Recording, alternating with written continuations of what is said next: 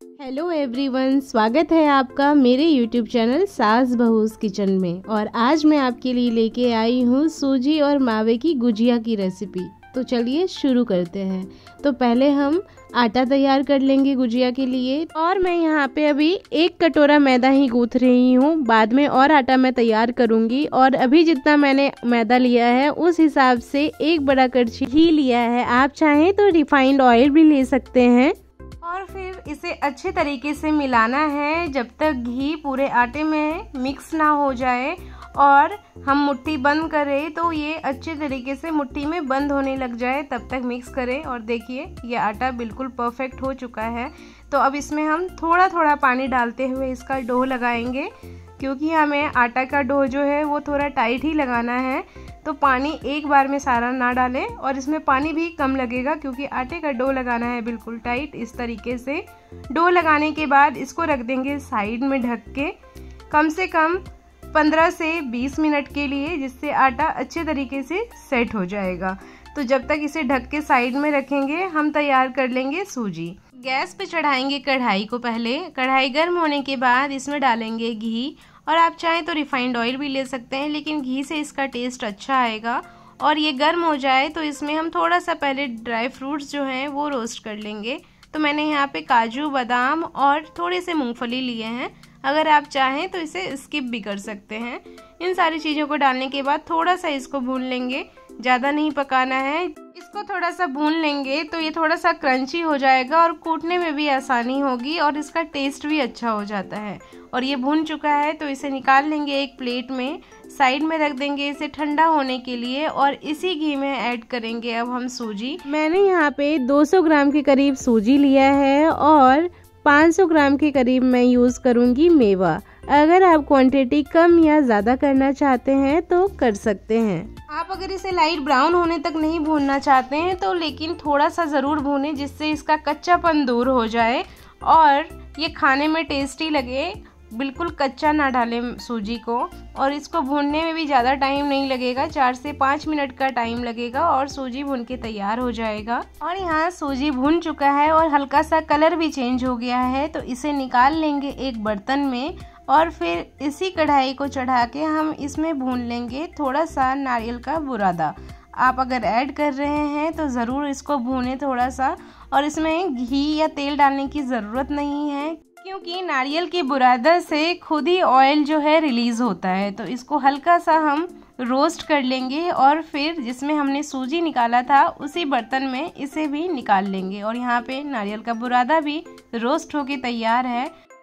और आप देखिए, मैंने दोनों चीज़ एक ही बर्तन में निकाला है और इसे थोड़ा सा मिक्स कर देंगे जिससे ये ठंडा हो जाए। एक जगह जमा रहेगा तो ठंडा होने में टाइम लगेगा।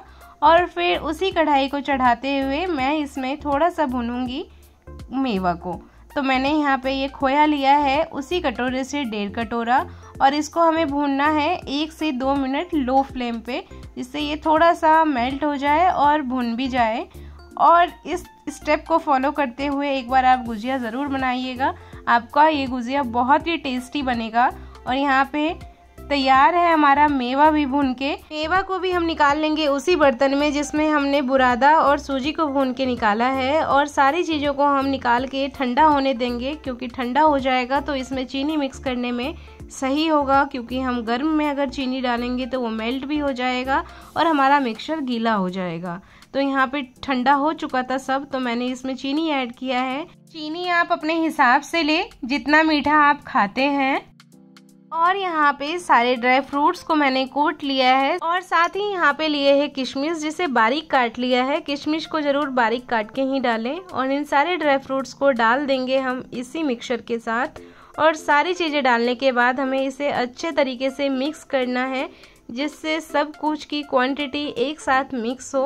और अगर आप बनाना चाहते हैं बिना मेवा के तो आप बिना मेवा के भी बना सकते हैं। वो भी बहुत टेस्टी लगता है गुजिया खाने में। और यहाँ पे मुझे मेरा बर्तन लग रहा था छोटा तो मैंने बर्तन चेंज कर लिया है और इस बर्तन में अच्छे तरीके से मैं मिक्स कर लूँगी। और आप कब बना रहे हैं गुजिया, वो भी ज़रूर बताइएगा। और आपको कितना पसंद है गुजिया, वो भी ज़रूर बताइएगा। तो यहाँ मिक्स हो चुका है ये सारा चीज़। तो गैस पे चढ़ा दिया है मैंने तेल को गर्म होने के लिए। और जब तक तेल गर्म हो रहा है, यहाँ पे हम इस आटे को देख लेते हैं। आटे का ढक्कन हटा के एक बार इसको मिक्स कर देंगे और आटा बिल्कुल परफेक्ट कंडीशन में है। ना ही ज़्यादा टाइट है और ना ही ज़्यादा सॉफ्ट है। और इसे अब मैंने छोटी छोटी लोई बना के ले लिया है। और मैं यहाँ पे आपको तीन से चार डिज़ाइन दिखाने वाली हूँ गुजिया बनाने के लिए। तो पहले एक पूड़ी बेल लेंगे। पूड़ी ना ही ज़्यादा मोटा और ना ही ज़्यादा पतला रखना है। और फिर जो हमने मिक्सर तैयार किया है, वो इसमें लेंगे। मैंने एक बड़ा चम्मच मिक्सर लिया है और चारों तरफ़ से लगा देंगे थोड़े से पानी को, जिससे ये अच्छे तरीके से चिपक जाएगा, वरना खुलने के चांसेस ज़्यादा रहेंगे। इस तरीके से लॉक करने के बाद एक बार हाथ में उठा के दोनों उंगलियों से भी हम इसको लॉक कर देंगे, जिससे ये खुलने के चांसेस बिल्कुल ही कम हो जाए। इस तरीके से इसको प्रेस कर दें और फिर इसको रख देंगे हम नीचे और एक फॉक लेंगे और फॉक से इस तरीके से प्रेस करते हुए इसमें निकाल देंगे डिज़ाइन को। तो ये हमारा तैयार हो जाएगा पहला डिज़ाइन गुजिया का, जो सबसे आसान ट्रिक है। और फिर दूसरी लोई लेंगे और इसका भी हम एक पूड़ी बेल लेंगे। और पूड़ी बनाने के बाद। अगर आपके पास गुजिया बनाने वाली मशीन है तो दूसरा जो डिज़ाइन हमारा बनेगा, वो मशीन से हम बनाएँगे। तो इसमें भी हम एक चम्मच डाल देंगे गुजिया के मिक्सचर को और फिर अच्छे तरीके से इसको दबाते हुए प्रेस करेंगे, जिससे ये खुले ना और एक्स्ट्रा आटा को साइड में रख देंगे। और दूसरा हमारा यहाँ डिज़ाइन तैयार है गुजिया का। अब तीसरा डिज़ाइन हम बनाएँगे तो दोबारा से एक हम लोई लेंगे और इसको पूड़ी की शेप में बेल लेंगे। और आप ज़रूर बताना कि आपको सबसे आसान वाला जो है डिज़ाइन वो कौन सा लगा। तो दोबारा से इसमें फिलिंग डाल के इसमें लगा देंगे थोड़ा सा पानी और फिर इसको भी लॉक कर देंगे। मुझे जो सबसे अच्छा और आसान डिज़ाइन लगा, वो मैं आपको आगे बताऊँगी। तो ऐसे लॉक करते हुए दोबारा से हमें फॉक लेना है और इस तरीके से प्रेस करना है। अब आप सोच रहे होंगे, ये तो सेम डिज़ाइन है, लेकिन नहीं, ये दूसरा डिज़ाइन है। और फिर फॉक से इस इस तरीके से प्रेस करते हुए बीच बीच में इसको डिज़ाइन में हम निकाल देंगे और ये हमारा एक फूल सा बन जाएगा। और देखिए कितना प्यारा लग रहा है। सारे आटे का इसी तरीके से डिज़ाइन बनाते हुए गुजिया तैयार कर लेंगे। आपको जो भी डिज़ाइन सबसे आसान लगे उसी डिज़ाइन को फॉलो करते हुए आप फटाफट, झटपट से बना सकते हैं गुजिया को। किसी को बुलाने की भी झंझट नहीं है और आपकी भी मेहनत ज़्यादा नहीं लगेगी। सबसे आसान जो है, वो तो फॉक वाला ही है कि प्रेस करें और फॉक से डिज़ाइन बना दे और गुजिया का डिज़ाइन बन के तैयार है। लेकिन जो डिज़ाइन देखने में अच्छा लगा, वो फॉक वाला ही है। लेकिन जब बीच में प्रेस करते हुए उसे फूल का डिज़ाइन बनाते हैं वो वाला डिज़ाइन मुझे ज़्यादा अच्छा लगा। तो यहाँ पे सारे गुजिया को तैयार करने के बाद हम इसे तेल में फ्राई कर लेंगे। तो चलते हैं अब हम गैस की तरफ़। तो यहाँ तेल तैयार हो चुका है गर्म होके। तो इसमें डालेंगे गुजिया को धीरे धीरे और जितना गुजिया इसमें एक बार में आ सके, सारे गुजिया को डाल देंगे, जिससे गुजिया पूरा तेल में डिप हो जाए, तभी ये फ्राई होगा। जब गुजिया डालें, तब गैस की फ्लेम को रखेंगे लो। और फिर गैस के फ्लेम को कर देंगे थोड़ा सा हाई। इस तरीके से बनाने पे गुजिया अंदर से भी थोड़ा पक जाएगा और इसकी कंडीशन जो रहेगी वो भी बिल्कुल कुड़कुड़ी सी बनेगी। और जब गुजिया थोड़ा सा ब्राउन हो जाए, तब तक इसे फ्राई करेंगे। आपकी पसंद है, अगर आपको लाइट ब्राउन चाहिए तो आप उस कंडीशन तक इसको फ्राई करें। मुझे तो थोड़ा डार्क ब्राउन ही ये पसंद आता है। और यहाँ पे गुजिया भी बिल्कुल परफेक्ट कंडीशन में है, अभी ब्राउन भी हो चुका है तो इसे निकाल लेंगे हम और इसी तरीके से हम सारे गुजिया को फ्राई कर लेंगे। और मेरी ये रेसिपी आपको कैसी लगी, वो ज़रूर बताइएगा कमेंट बॉक्स में। और अगर आपने अभी तक मेरे चैनल को सब्सक्राइब नहीं किया है तो सब्सक्राइब भी ज़रूर करें। ऐसे धीरे धीरे करते हुए सारे गुजिया को हम फ्राई कर लेंगे।